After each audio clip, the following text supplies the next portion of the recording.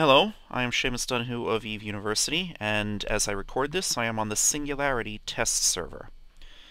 On Tuesday, January the 24th, 2012, uh, two days from now, the date of this recording, uh, Crowd Control Productions is going to push a new patch, the Crucible 1.1 patch, to the live Tranquility server. And in that patch, we are going to hopefully have the new Neocom, which you can play around with yourself if you're on Singularity. Now, for those of you who are new players, the Neocom is an interface bar from which a very large number of the game's features can be accessed. Both in my videos and in the advice that I give on the EVE University Mumble uh, when uh, players ask me questions, a lot of times when I'm trying to explain to somebody how to find something, 90% of the time it starts with the Neocom. And since it's being revamped, uh, I figured it'd probably be a good idea to make a video covering the changes. By default, your Neocom will probably look like this on Tuesday. Right? So these are what the buttons are going to look like. Uh, the thing is, this is reconfigurable to some extent. You're still limited to a line left and a line right, and you can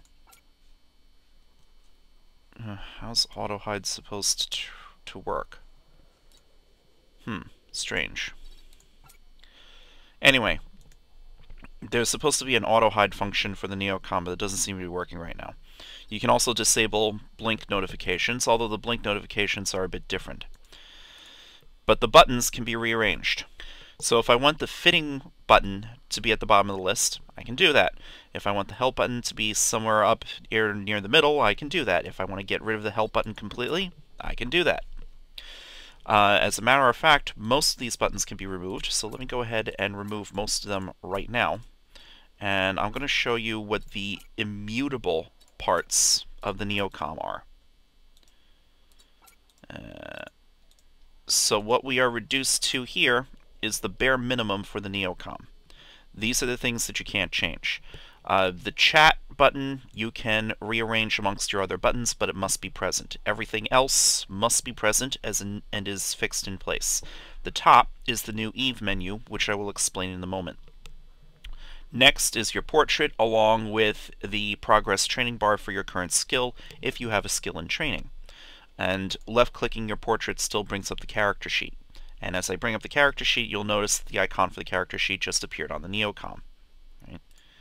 At the bottom of the Neocom, I have the current Eve time. Right? And above that, if I'm docked in a station, I have items, ships, and undock. Yes, um, this may be a little bit tricky placement for some people. Be very careful. You don't want to accidentally undock while trying to open your ship hangar. Alright, so be very careful about that but this can't be rearranged. None of these buttons can be moved. Alright, so these are the immutable parts of the Neocom. So at the top, we have the Eve menu, and you can either left click on it or the default shortcut is backslash.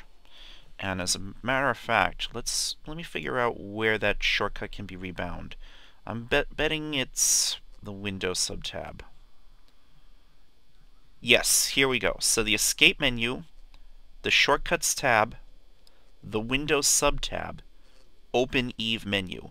And the default shortcut for this is going to be backslash. Of course, you can change that to whatever you like. You can change it to tilde or whatever.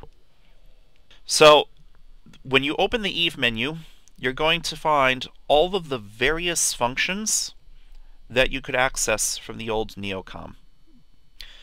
So we've got the character sheet, we got the certificates, we got the people and places window, we've got the fitting, we've got the map, the assets window, the journal, and the help functions. But you'll also see submenus up here. So for accessories, you can find your uh, your web browser bookmarks. Keep in mind, old players, those of you who are accustomed to talking about bookmarks in space, those are now called locations.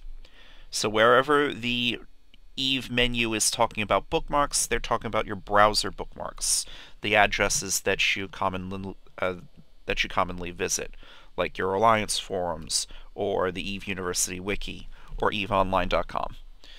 Uh, you've got the browser itself, uh, you've got the jukebox, the calculator, your notepad, and your log. Under the business submenu, you have the market, contracts, wallet, science and industry, and the agent finder. Under the social submenu, you have the email, the calendar, the corporation, uh, so the sovereignty dashboard, the fleet window, and uh, although I, I don't know why they have chat channels here in the Eve menu, since you can't actually get rid of that from the Neocom. But anyway, so all of the functions that you need uh, can be accessed from the Eve menu. And if you've decided that you use something frequently enough that you want to tack that on, uh, for example, I always want my wallet to be available, you can left click and drag it from the Eve menu into your Neocom, and it will slot that in. So now I have the wallet on my Neocom. Okay? And you can put these things in whatever order that you like, whatever order makes sense to you. So suppose I want to have my character sheet here. I want to have...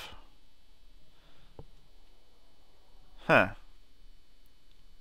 Trading window. I would have thought the training window would be in here somewhere. Because when I opened the training queue, there's certainly a button for that. Where did it... Where is it in the... Huh.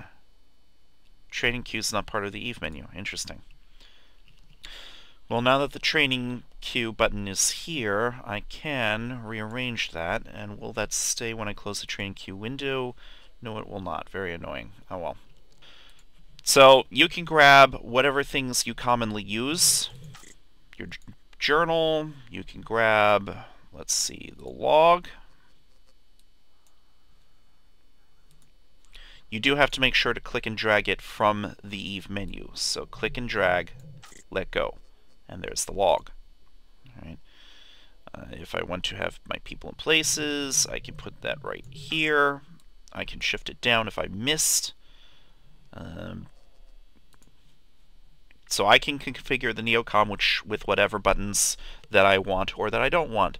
If I want the calendar to be a button, I can put it on there. If I don't want to be a, if I let me put that on there. If I don't want it to be a button, I can right click and remove it. Alright.